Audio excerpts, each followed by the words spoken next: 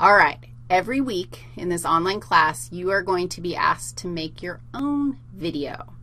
And this assignment, because there are eight weeks in the class, there will be eight times that you complete this assignment.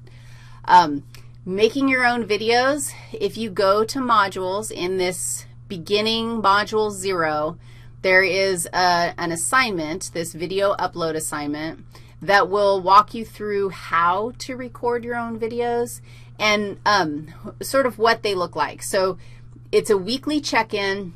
Because it's online summer and we're only rocking this thing for eight weeks, you only have to do eight of them. In the traditional face-to-face -face class or online class, um, you had 16 of them. So you only have to record me eight videos.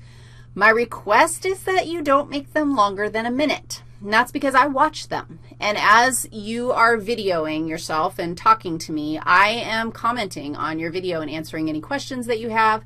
It really is the place where I feel like I get to know you a little bit and I get connected to you.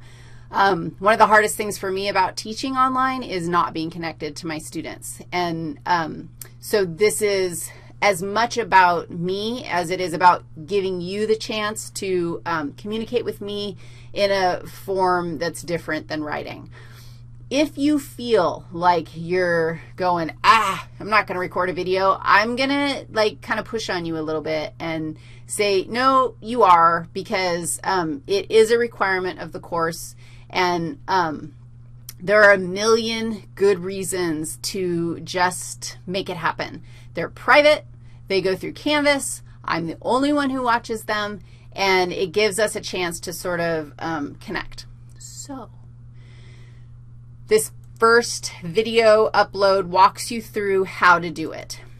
If you want to record your video um, using the super easy peasy tools in Canvas, then you got to have Adobe Flash Player on your device, I think. I know sometimes I have issues recording a video, and I think it's when um, Adobe Flash Player is not ready to rock and roll.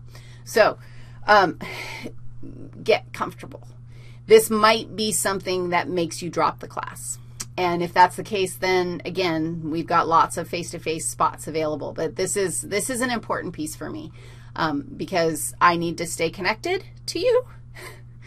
you don't want me falling off the train and going away. All right, if you have any questions about that, give me a holla holla, yo.